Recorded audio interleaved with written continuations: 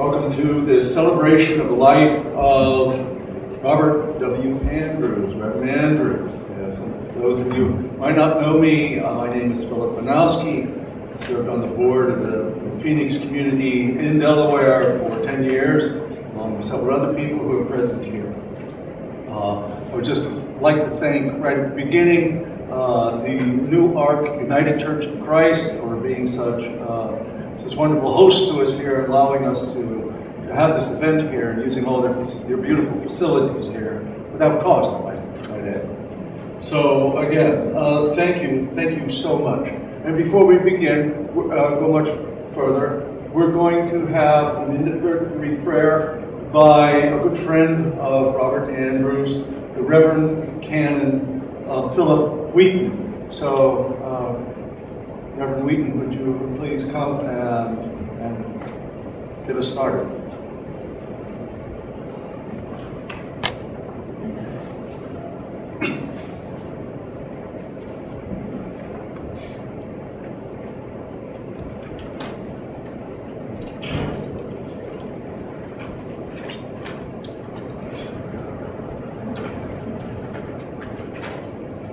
Thank you all so much for coming, and we're very happy to be here. I would like you to look at your programs two reasons.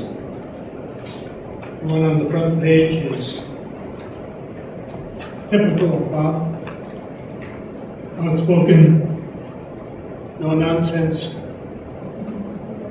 always telling it like it is, as the citation from the book of Revelation stated down in the bottom of that page. And uh, you will also be looking at uh, several photos of the back of Bob's house in Costa Rica before he died, which is probably the most beautiful view of Costa Rica and Costa Rica approach and landing strip to come in and out of town. It overlooks the whole valley of Costa Rica, and uh, I have uh, sat in this place several times, thinking about Bob and meditating on, on, the life that he has, and I would like to make a few comments about him. I recently traveled to Costa Rica to visit Bob Andrews with my good friend Joe Mulligan, a Catholic priest. We found Bob in his upper room wearing a bathrobe. You'll see pictures of him in his bathrobe uh, when those shots are put up on the screen. We were preparing to speak to a group of Americans living in Costa Rica and to another group uh, from the upper echelons of Costa Rican society. One of the interesting things about Bob is that he made contact with all kinds of people, poor, migrants, citizens from the United States, members of the upper echelon of Costa Rican society, and so forth. all of these events were a success because Bob always told it like it was. And Bob always came down to these meetings that were held uh, as he invited North Americans, members of the Costa Rican Society, and so forth. And I took his, the fact that he was at his uh, place and he welcomed us. Uh, and then we went down to have the meeting just recently this year, and uh, Bob did not come down to join us. He said, I don't feel up to it. He lived in the upper third story part of one of the houses in his area, and he said, I just don't uh, feel up to it. And I thought that it was a temporary uh, feeling of weakness or uh, whatever, and uh, accepted that. And uh, we had uh, a really nice uh, time with him before and after that those public meetings. And then we returned to the States just recently when we heard that he had died. It was a great shock and has created a great sadness and emptiness on all of our parts, I'm. Bob's goal in his long sojourn Costa Rica was to enlighten people about the reality of our government, which repeatedly lies to us or distorts the reality of the dark side of our nation's reality, which is its imperialist side. We are a marvelous democracy, and we are an all-powerful empire. Something that most Americans don't like to face up to. And it was this task that drove him and guided his life's work. Another such American hero is a man by the name of M. Scott Peck, MD, who sought to uncover the truth in his book, The Road Less Traveled By, which includes the word grace, as in the poem by John Newton called Amazing Grace. I would like to end my introductory remarks by reminding you of that poem. Amazing Grace, how sweet the sound that saved a wretch like me. I once was lost, but now am found, was blind, but now I see. 'Twas grace that taught my heart to fear, and grace my fears relieved. How precious, precious did that grace appear, the hour I first believed. Through many dangers, toils, and snares, I have already come. Tis grace hath brought me safe thus far, and grace will lead me home. And when we've been there 10,000 years, bright shining as the sun, we'll have no less days to sing God's praise than when we first began.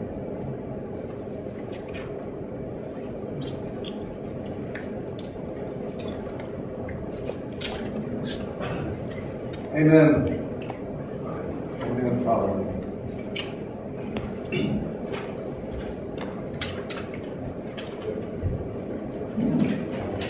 Mike Billingsley was going to sing for us uh, today. Had heart surgery. Uh, praise God. And had a stent put in his heart. And he was thinking of uh, getting on his, car driving to Pittsburgh. And uh, then he changed his mind quite wisely, I understand. Uh, he wanted to sing a song, and so uh, I'm going to play it for you. We can listen to it, but let me make a few prefatory remarks. Uh, at 16 minutes to midnight, on July 15, 1999, Pedro Martinez, a Mexican, seeking work in Newark, was asleep in the back seat of an 88 Mercury Coupe. When the driver approaching the Deer Park on the West Main missed the U-turn at the old at the old Wonderland, and as soon as he saw it was heading the wrong way, he attempted to turn left on 896, but was stopped by a Newark police officer who held him right on top of the CSX railroad tracks. In spite of warnings from patrons and Deer Park employees that there was a midnight train on its way, police officers Michael Van Kampen and Blake Pataki were busy assessing the threat and refused to allow the driver to move the car until they heard the whistle of its approach. And uh, though the driver and Pataki attempted to start and then push the car off the tracks, it was too late. And the car was slammed by the train and Pedro Martinez was killed. Note that it is illegal to publish the names of police officers involved according to the Police Officers Bill of Rights, but the News Journal published them anyway. So I have it. Bob Andrews, Andrews organized several public and private meetings on the issue and helped force the state legislature and federal attorney to investigate.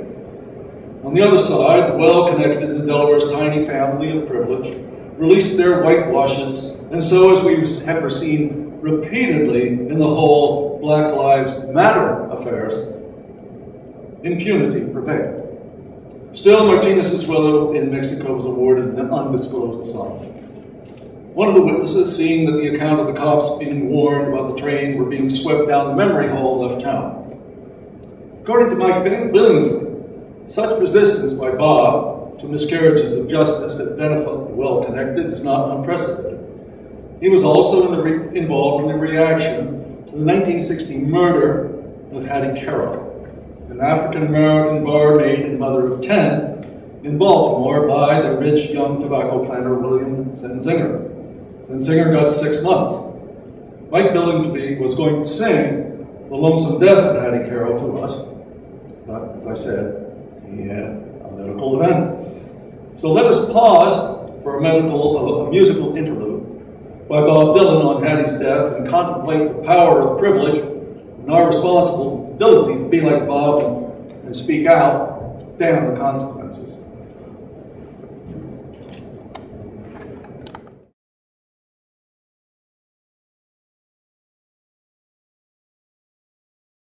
Mike Billingsley's tribute to Bob Andrews is sitting in uh, out there on the table, along with the other tributes, along with the uh, resolution from the uh, state of uh, Delaware, put together by um, uh, Harris McDowell and, and Catherine Butcher.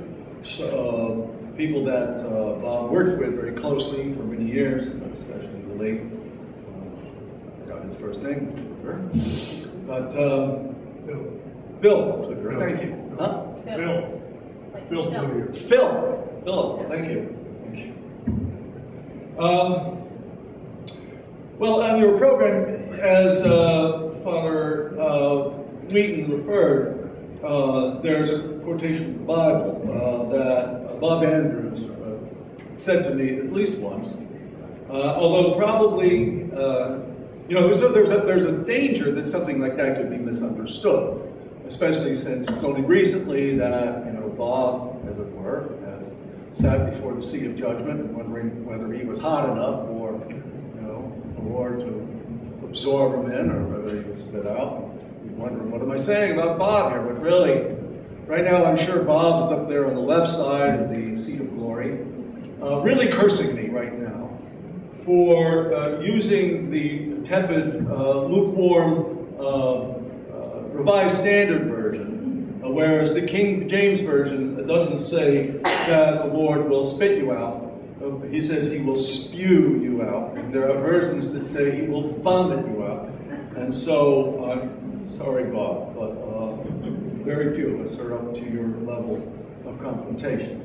Um, you know, it really has to do with this insistence on saying what is true and, and subject to deliberate misunderstanding or the overblown taking of, taking of offense rather than cowering in lukewarm language as I put here.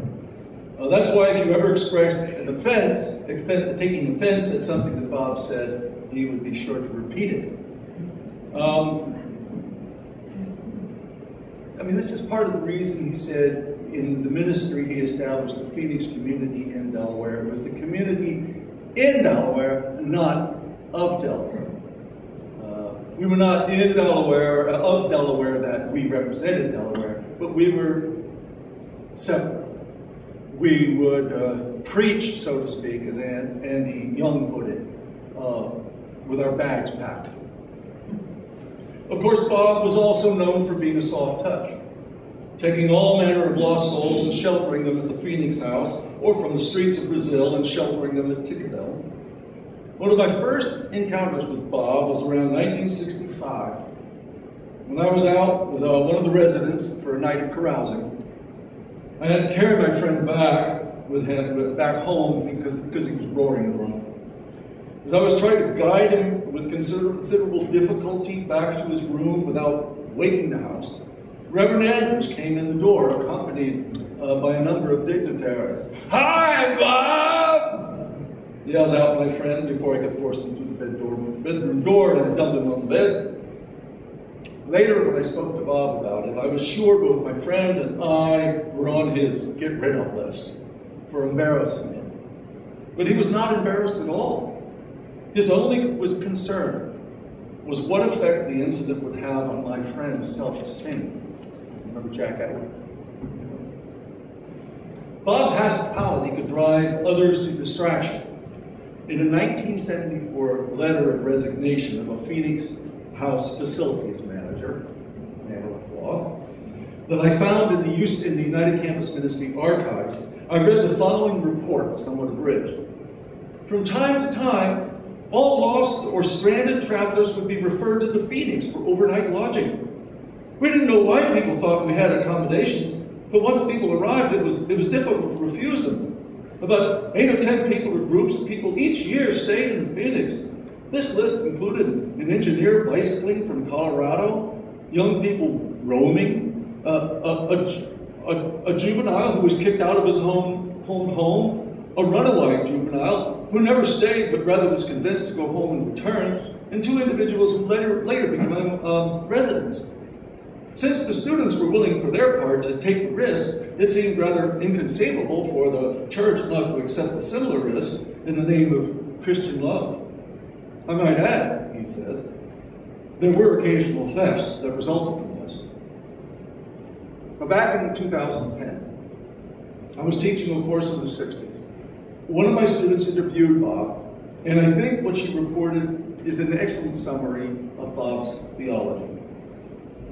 According to Andrews, she writes, the Christian faith, quote, required us to be in solidarity with the oppressed. It was clear at the University of Delaware that, that there, was a, there was a shocking kind of oppression against African Americans and certain liberals. Jesus Christ himself represented commitment to help the oppressed find justice. He stood up publicly for these principles, encouraging others. This inspired Andrews to encourage students to rethink the status quo. It was his Christian obligation to devote himself to the side of the subjugated.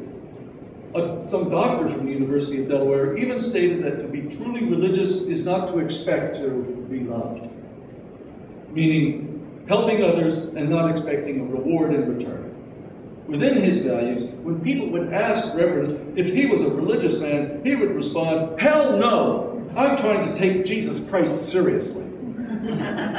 Showing that he did not believe in religious practices in a separation between groups of people. He believed that religion, any kind of religion, should have the fundamental goal of helping those in need of the simple necessities and liberties of life. Quoting Barth, a German professor the, of the early 1900s who opposed Hitler, people with faith should be politically involved, quote, having a Bible in one hand and a newspaper in the other. The tendency of our society, she continues, is to divide, paraphrasing Bob, is to divide what is spiritual and real life. But Andrews wanted to bring religion into the public streets. There's a copy of her paper out there at Wells Hall, along with the other tributes. And not more the other. Now we all know that among the causes Bob was most passionate about was the cause of the Palestinian people. Back in the 60s, Bob led American Christians for Palestine and twice met with Palestine Liberation Organization leader Yasser Arafat. Over the years, Reverend Andrews brought to Delaware both Jewish and Palestinian speakers advocating self-determination for the Palestinian people and opposition to Israel's apartheid policy. These include the late Dr. Alfred Lilienthal, uh, our Ramsey Safuri, Hussein Ibish, then of the American Arab Anti-Discrimination Committee, ADC, Rebecca Subar from Philadelphia Jewish Voice for Peace, Najim Yatim and George Zar from ADC, and Elik Elhanan, the Israeli founder of Combatants for Peace. These Jews, Muslims, Christians, and secularists helped break open the one-sided discourse, dominated for decades by an imperialist U.S. foreign policy, opportunistic politicians, and the Israel lobby. Today, Israeli policies are often challenged in universities, public media, mainline churches, and even with hints and nuances by the U.S. Congress and the White House. National organizations like a Jewish Voice for Peace, Students for Justice in Palestine, Churches for Middle East Peace, and local groups like Del NATO, Delaware Neighbors Against the Occupation, have boldly widened the debate first breached by visionaries like Bob Andrews. Now don't worry, you can still suffer the consequences, damned or not, reserved for the just when you get involved in this issue. You can still be misunderstood by those who don't and by those who won't understand. But if you know that the disposition of the Palestinian people cries out for justice, be like Bob. And for Christ's sake, speak out. Lest you be spat out like the lukewarm or spewed out, who want nothing but warm fuzzies from their spiritual life. Churches for Middle East Peace and Del NATO are here today to carry on Bob Andrews' work, get to know their leaders, get on their mailing lists, go to their meetings, and grow the movement. So, before we open the floor for your memories and testimonies about Reverend Robert W. Andrews, I'll offer one final honor to God's vision, a poem from a work I discussed with him before his passing. Now, the premise of this work is of a young man who is, uh, his mother was an indigenous Ecuadorian. And his father was a Lebanese Ecuadorian, third or fourth generation. Um, she was his maid, he was a hoteler. Uh, he dreams of coming to the United States. To make a long story short, he succeeds. He gets here, gets deported to Lebanon, where he's never been, uh, gets to know this young man, Hamoudi, a Palestinian that he met, who was being deported from France He met on the flight from Paris, Charles de Gaulle to, uh, to Beirut. And, uh, and at this point, in this poem, and eventually he, he ends up in Guantanamo Bay. This is, a, this is a poem where he and Hamoudi have gone to, to the ruins of Baalbek. So it's entitled The Roman Ruins of Baalbek in Bekaa Valley, lately of Lebanon, Mandate France, and Syria. Jacobo Jacobo drags a stick through dry Bekaa earth. A scent stirs homesickness.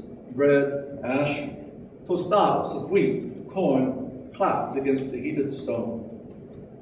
Past the billboards of slingshotting youth and posters of Hezbollah martyrs, each hovering in a heaven of poppies and jutting from utility poles like giant postage stamps. And where the valley begins to sprawl are kiosks unshuttering for tourists, and a town wide campus of cylinders, blocks, and lintels stacked in sacred proportions or cracked and scattered. Like colossal dice, observes Hamoudi. Jacobo, exiled Ecuadorian, and Hamoudi, likewise Palestinian, have come to the ruins of Baalbek. This was all Canaan, Hamoudi instructs, with the first men ate wild, wild rye, then farmed as Jebusites, our ancestors. Jacobo fixes his eyes on another genealogy and quotes from the brochure the temple of Jupiter Baal and Bacchus. And Fairuz interjects, uh, interjects Hamoudi, the Lebanese chanteuse, who sings here with empire ghosts, Assyrian, Byzantine, Crusader, Zionist, we Palestinians endure or don't, like a river. We give them a few decades or centuries at most raise their temples and roll their dice. Call us Philistines, Maccabees, or Fedayeen. Hear our battle cries in Phoenician. Um, in, sorry, in Phoenician, Hebrew, or Arabic. Our curses, pagan, Jew, monophysite, or Muslim, we inherit the seed of succeeding invaders that disembark, go native, or just go, never changing the scent of leaven in a fiery taboo. So, let's open up to you. Let's find out what you have to say. I know many of you came here anticipating the opportunity to tell your stories. come right up here and use the microphone. Bring it down just a little because most of you are not quite as tall as I am. So please, uh, we look forward to hearing your words. Please introduce yourself in case we can't read that far to your, uh, your name tag.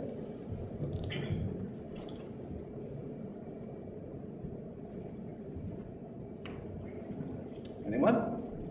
Oh, thanks. Way to go, Maureen.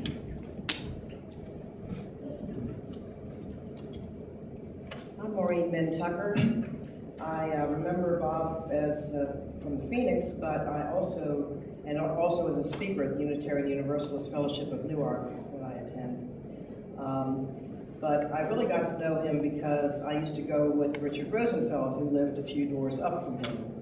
And um, Bob uh, lived on New London Road at the time, and uh, he always had foreign students staying at his house. And um, he expanded my horizons tremendously. I really considered Bob to be a local hero who was so international in scope.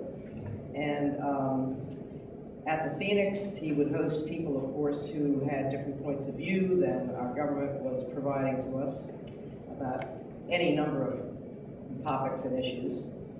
And um, also, um, within his home, he would have various dinners and parties, and uh, they were always very international in flavor with people from all over the world and dishes from all over the world.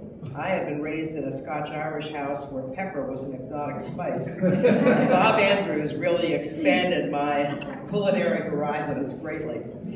Um, and uh, I also remember taking French lessons at his house with um, Monsieur Isaac Mapp, who some of you may have, uh, may have known. He was a teacher at Christiana High School that I attended, and he was just a wonderful man also. Anyway, um, I uh, just wanted to um, recognize Reverend Andrews. I think he was just a wonderful person. And if there's any hymn that I associate with him, it would be Once to Every Man and Nation. And uh, I think the lyrics to that hymn really uh, are part of who he was.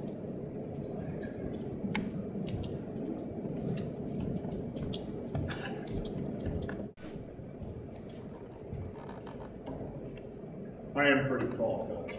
So. Uh, good evening, everybody. Thank you for coming out this evening to uh, have some remembrances of our great friend and uh, courageous uh, hero of this area and for people all over the planet. And my name is John Cartier. Um, I wish, Philip, you could put that picture back up above. Um,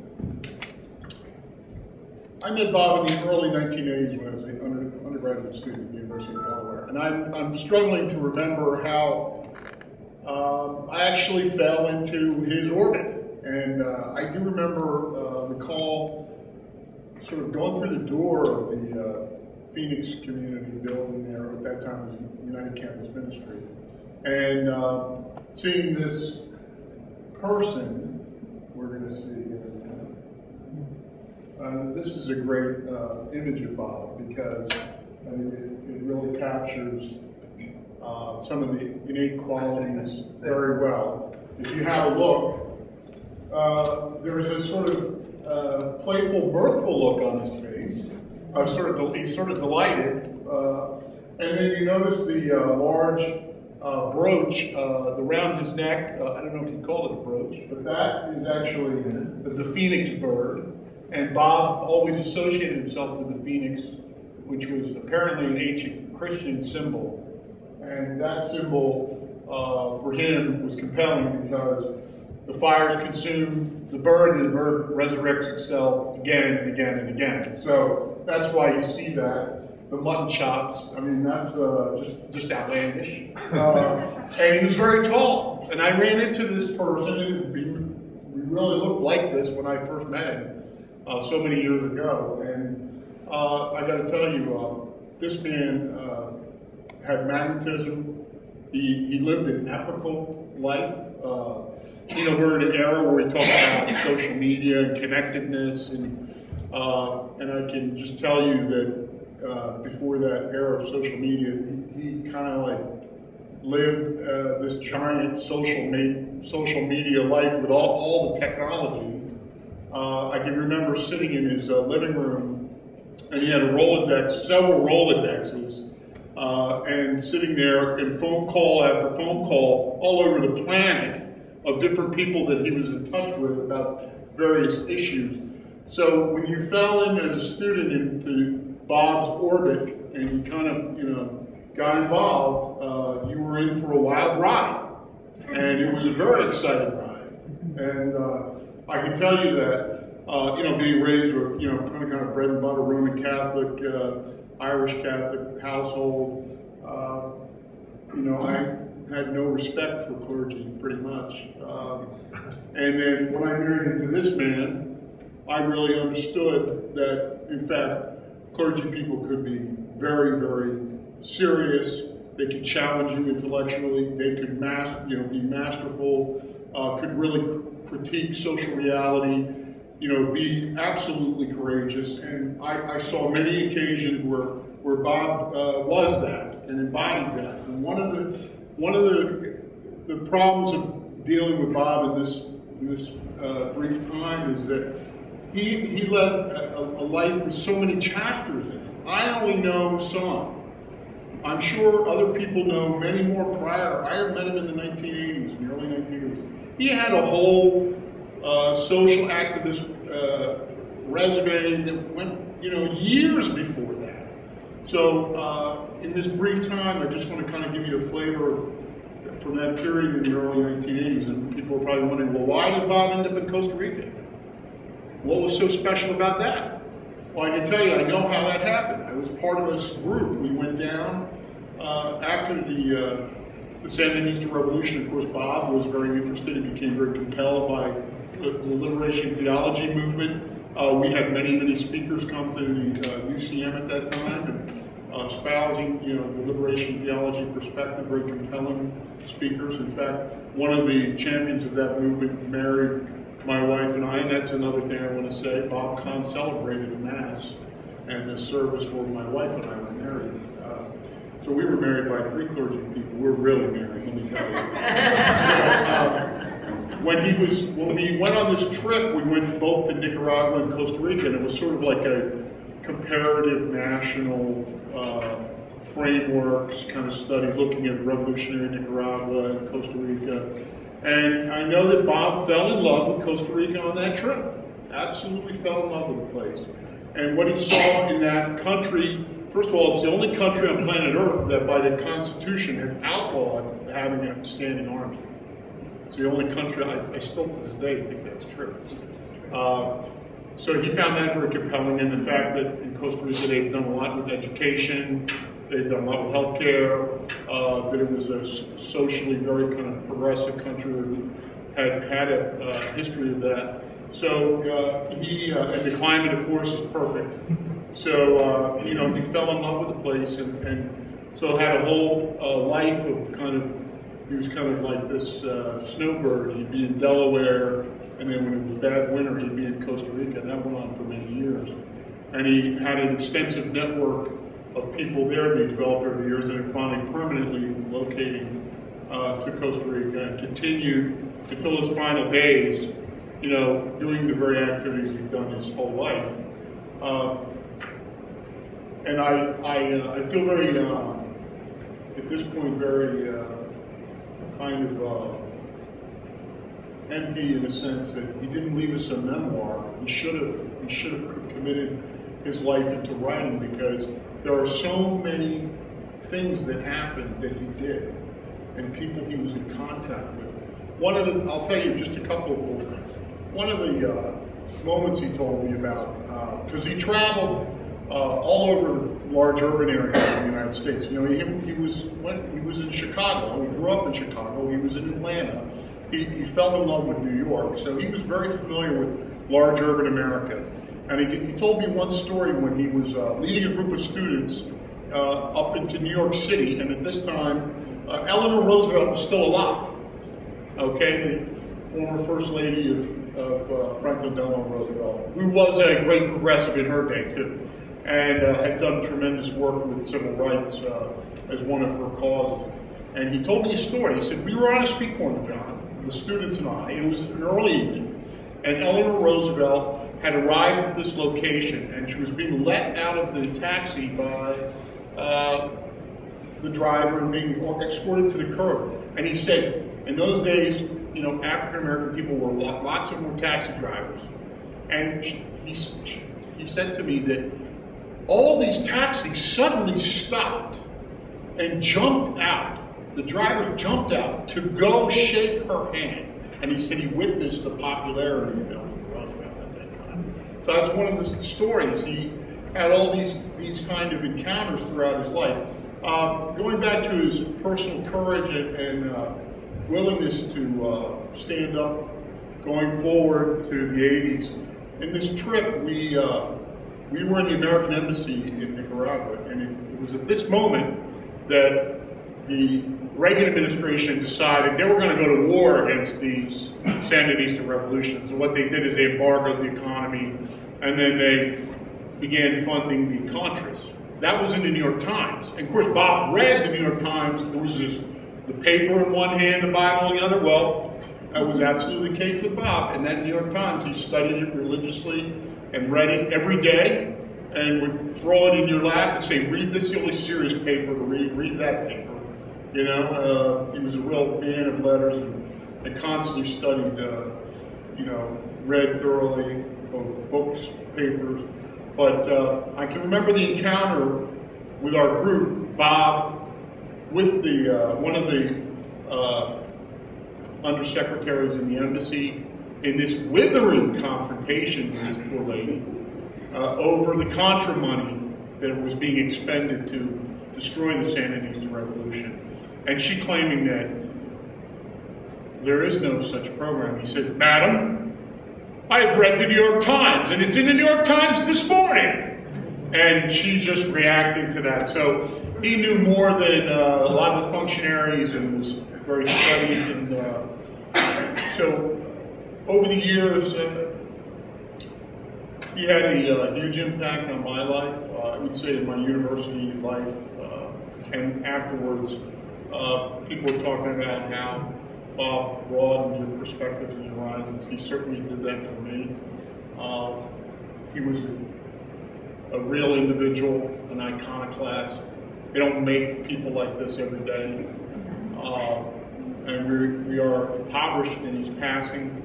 And uh, I think that uh, every, there's not many days you go by that I don't think about Bob and those days and what I learned. And uh, in my public service now, I serve on New Castle County Council. I, you know, I derive tremendous amounts of inspiration from this man and what he represented. And uh, in our own little way, you know, my own little way, I try to uh, take care of the least of us and try to reflect those values that he left uh, with me.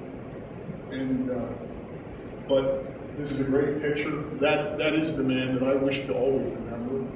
And uh, he uh, he lived with vitality uh, and tremendous Guerra, joy, enjoyment of life. He had a great sense of humor. Sarcasm was a, a science with Bob. and I'll never, I'll never this, this a phrase. Uh, we're talking about Phoenix community in Delaware, not of Delaware. Well, the other phrase is darkest Delaware, right? So, uh, you know, and that's a social criticism of Delaware. So, uh, I'm going to close my remarks and uh, thank you for coming out to remember our our great friend, um, a person who lived an inspired and true life around the years. Thank you.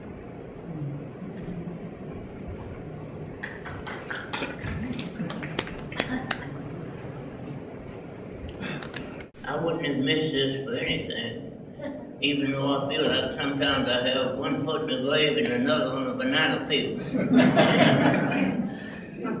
uh, I want to first thank Philip and everyone else who arranged this service. And also for the obituary with Bob's picture. As I now approach 89, every day I work in my office, home office, trying to help make a little difference, like he made a great difference. Uh, I have on my three on three walls in my office photographs of my family, some not with us anymore, and friends, some not with us anymore. The last one I put up was Bob the Big Bird with his picture on my, what I call my walls of love.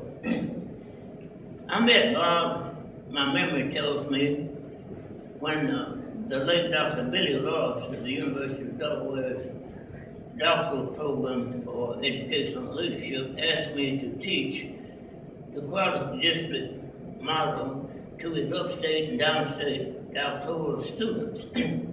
That's how I met Bob.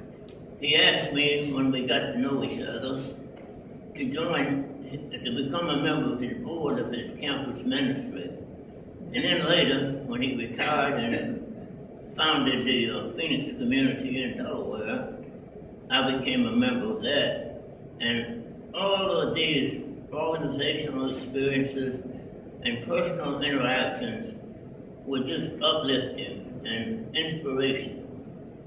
What impressed me so much about him was his moral character uh, compass indicator was not just pointed toward what was right and just, not only in this community or state, but in the whole world, nationally, internationally. But he didn't just seek and acquire best knowledge for what was right and just. He put on, old University Georgia Bulldog cleats, and he hit on every issue with passion. And that's rare. To be able to consistently speak out and try to inform and enlist people. So for that, I thank you so much. He helped make me a better human being. And I feel like I see many people in this audience who have pursued the same goals and objectives that Bob did. So I just simply want to say thank you for adding to the quality of my life and so many others. And I'm sure that his passing will not be any stop sign, but will help open up, especially for the young people he had to have influenced at the University of will open up even different lanes toward finally achieving or moving closer to what is simply right and just for all human beings.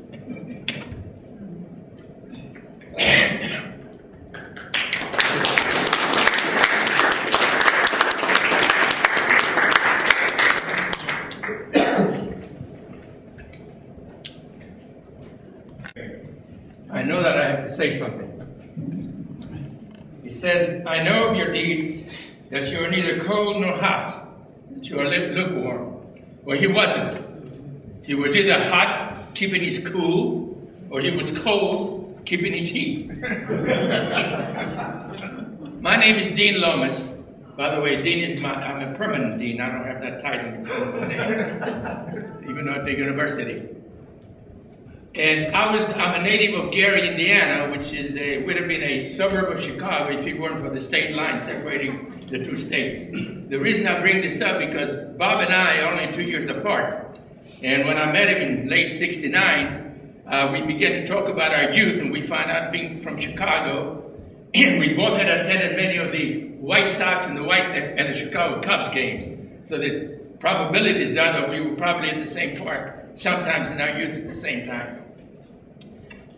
What I want to tell you is something that happened in either in late 71 or early 72. I cannot remember it. Was it does anybody here remember the symposium or conference we had at Wolf Hall, either in late 71 or either spring of 72, on the Irish problem? Anybody here? No, okay, never mind. we had two students. It happened to be one of them was from Northern Ireland and the other one was from Ireland. And soon enough, they clashed. I didn't know what to do with them. I was fairly new myself. I'd come in 69. Their mothers were coming over in this, I guess it was in the spring of 72, whatever. Their mothers were coming over, so I came up with an idea. I went about. I said, I cannot have a conference or a symposium or whatever, and me being the, uh, the middle person, being on both sides. How about you as a theologian take over? He loved it. so we got Wolf Hall, and we had quite a, quite a crowd. And we put the two boys up there. and They went at it for a while. He was really, well, you know how Bobby is. He can, and he can pull back. But he was keeping his cool. And then at the right time, without the mothers knowing that one, the two mothers were there, neither one knew the other one was there, we called them both on the stage. And then Bob took over on both of them. And he kept them up there for about 20 minutes, going back and forth, positive and negative, until both of them began to cry and when they cried, they came across the stage in front of him where he was sitting on the table, and they gulped each other, and they they felt the closeness that they should have had. Now I bring this up because had our foreign policy makers used that kind of a tactic, maybe we would have less nonsense in the world that we have today. I hope I've given something about his life. Thank you.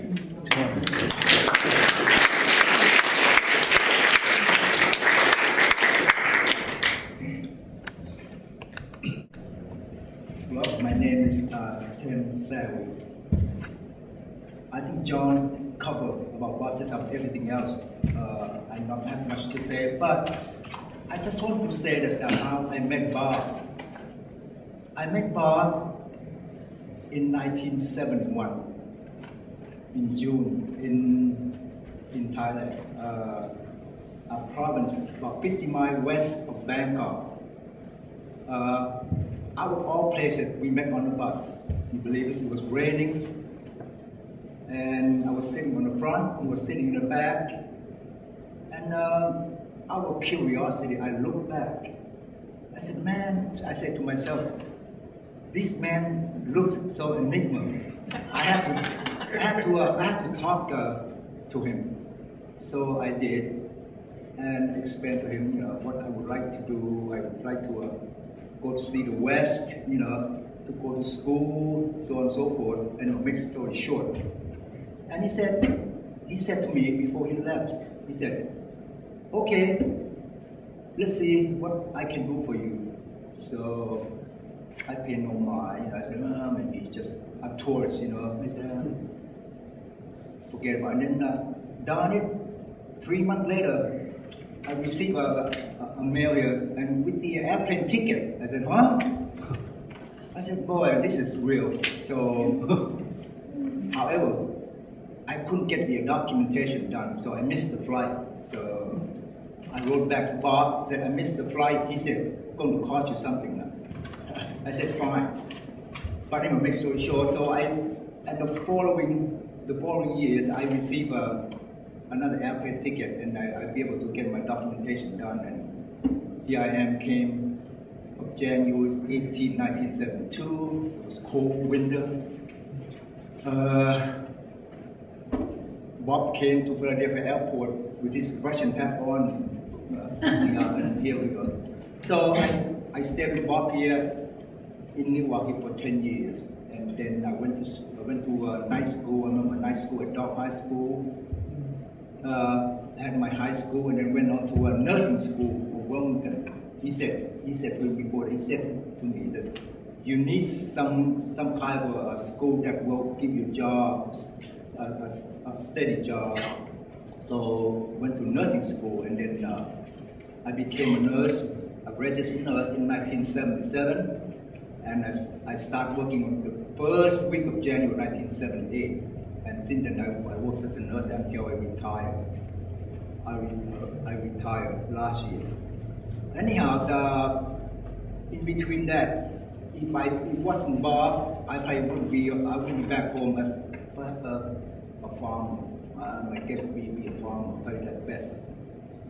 Uh, and then I also want to thank God that because I'm here, I met my lovely wife. We raised two sons, and they all uh, succeeded. Anyway, Bob, wherever you are, I just want to say thank you because of you, and may your soul rest in peace. Thank you.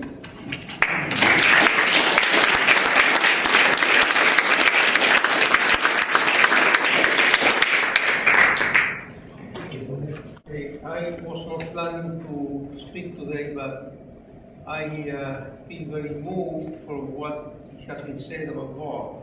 I am going to tell you a little bit about my own story of how I met Bob.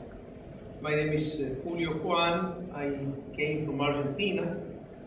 At the time I came here was uh, 1979. I uh, was attracted by a program that was at the United Campus Ministry, which is uh, was about South Africa, and I was uh, very aware, fully aware of what was going on there in terms of the apartheid, and I was interested in seeing what these Americans, the gringos, had to say about uh, those issues, which I felt well probably nobody cares about. So uh, I went there.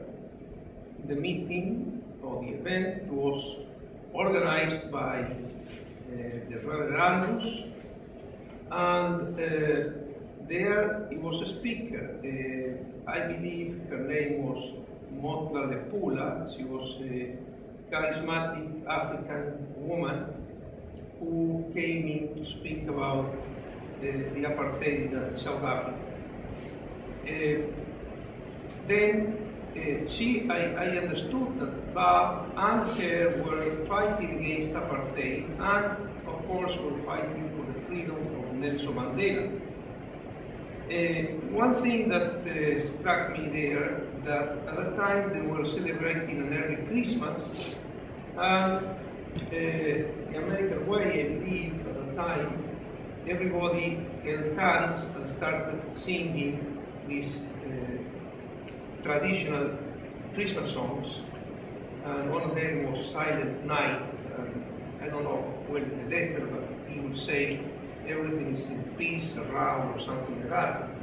And to my uh, surprise, this woman, Motlalepula, uh, after the things, she said, shame on you. There is no, there could not be any peace if there is no justice. And when I left the meeting that night, for me it was clear I should have, I should belong to the meeting right away, which I joined. And that was the beginning of my uh, belonging to the UCM, and of course, uh, my life, uh, throughout my life, I enriched my knowledge and my life itself by being at the UCM led by the Reverend Andrews and uh, of course by his, my personal friendship with him. And uh, I really have a lot to thank to him for, for so many good uh, times spent and so much I learned from so many different uh, uh, guest speakers he brought, and his own, you know, events where he would speak. He was really, for me, I was a person that I really admired. You know, one of the guest speakers, you know, very prominent people around the world, like the president of, of Costa Rica, Rodrigo Carazo, then the vice president of Guatemala, uh, Francisco Villagrán Kramer, the Minister of Economics, uh, Mr. Sol from Guatemala, from uh, El Salvador. Then at one time, uh, the uh, ambassador of Nicaragua, of the newly uh, uh, government, the Sandinista government. and you could mention so many people, including leaders of the liberation theology, that came in and enriched our knowledge of lives. And I really believe that we learn about everything, a lot of things that normally we could have learned anywhere. Uh, unfortunately, the University of Delaware, like any university in the world, is uh, very limited, there are some exceptions, of course, with some other universities, very limited to teach only technical issues or issues that are not conflicting. And he was a person who was conflicted by, by what he, his ideas were. He could speak out without any fear, which I admire that. He could talk about any issue without concerns about how his position was going to be, and ultimately, I believe that it cost his position at the uh, at the university because of, of, of his uh, his ideas. You know, he uh, he he made a lot of enemies, and also he made a lot of friends. And all those friends that he made, who he shared the ideas, believe that there is no or cannot be peace in the world without, without justice. And I think that is the basic idea that all of us believe. You know? Uh, and he fought for justice, speaking out without any fear of anyone. Anyone. He was a very honest and faithful man. And I believe that, you know, that has its merits. And uh, I am uh, really deeply sorry for his loss. I feel that they lost a brother, a mentor, a friend, all of it. And really thank you for all of you to have come here. And I, I see that he has helped not only me, but all the community by creating awareness through so many information to the guest speakers and himself. And we have to thank him for all this. And I am here to honor his memory and rest in peace. Well, thank you.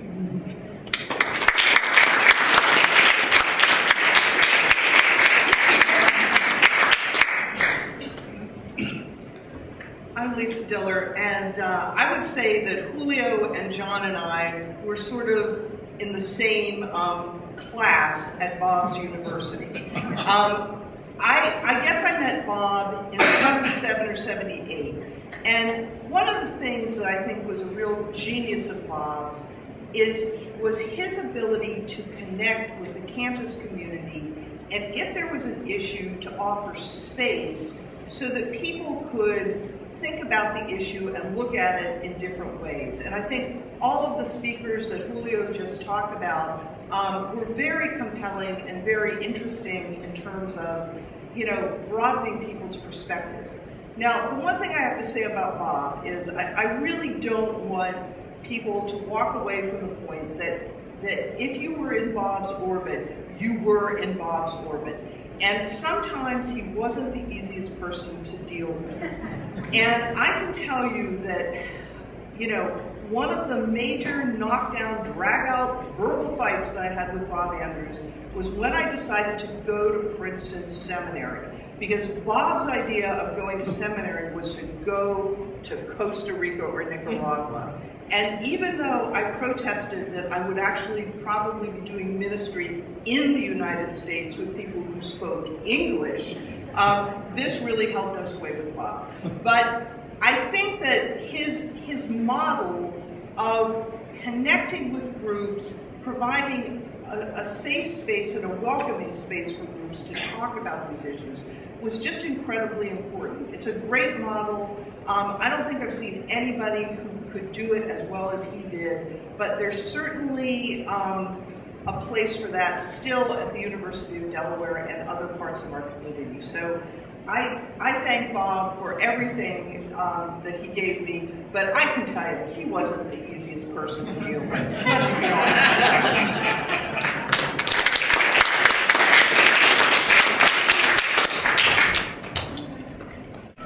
My name is Bob Stoddard. I'm a Presbyterian minister. I really didn't know Bob very well. Uh, we crossed paths once or twice here or there uh, until we founded a group here in Delaware called Church, Delaware Churches for Middle East Peace. one day the phone rang, and it was from Costa Rica. And it was Bob saying, I hear you founded a group, this is great. And he then went on for 45, 50 minutes telling, giving me his opinion on all the various issues uh, having to do with the Israeli-Palestinian conflict. Uh, I got one more call from him when something else was brewing, but uh, I knew that uh, he was an, certainly uh, an honorary member of our group and with us in spirit. from what I know of Bob and what I've heard from some of the rest of you here tonight, I made a list of how we remember Bob Andrews. And let us count the ways alphabetically. Acerbic, bullheaded, courageous, daunting, ecumenical, funny, gracious, hellraiser, intelligent, judgmental, kind, loving, magnetic, no nonsense, opinionated, passionate, quizzical, religious, or righteous, spiritual, tenacious, undaunted, visionary, wise, and you have to cut me some slack on this one, excitable, youthful, and most of all, zero tolerance for injustice. These are some of the ways we remember Bob Andrews. And I suspect these are the way, ways that some remembered the Old Testament prophets, and certainly our Lord Jesus was remembered this, these ways by his contemporaries. Not bad company, eh?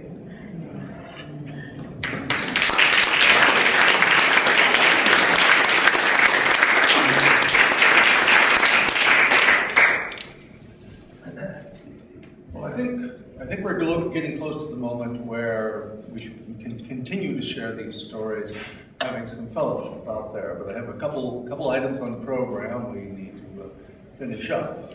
The first one is we are in church, and that means we have to sing. So everybody stand up.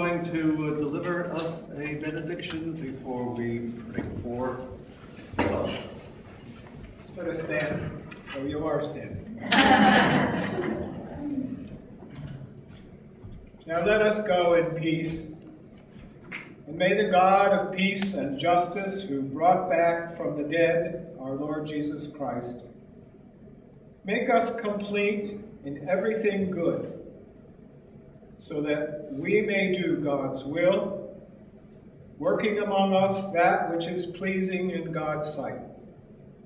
Through Jesus Christ, to whom be the glory forever and ever. Amen. Amen.